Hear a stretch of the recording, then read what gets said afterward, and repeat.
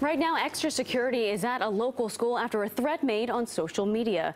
The Chatham County Sheriff's Office says while the message threatened violence against students at Chatham Central High School, deputies do not believe this is credible. But as a precaution, extra deputies are working at that school today.